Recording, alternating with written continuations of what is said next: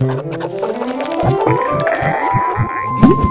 be honest, if it was between those two and I had to have one, it doesn't matter how good the Droid is or how good another phone is made. I would always pick the Apple product Because it's compatible with everything.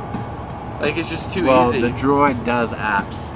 They Yeah, get they get to get Apple apps too. yeah, that's fine, but I just apps. I, Apple I already Apple. I already know Apple. Apple Action Mountains.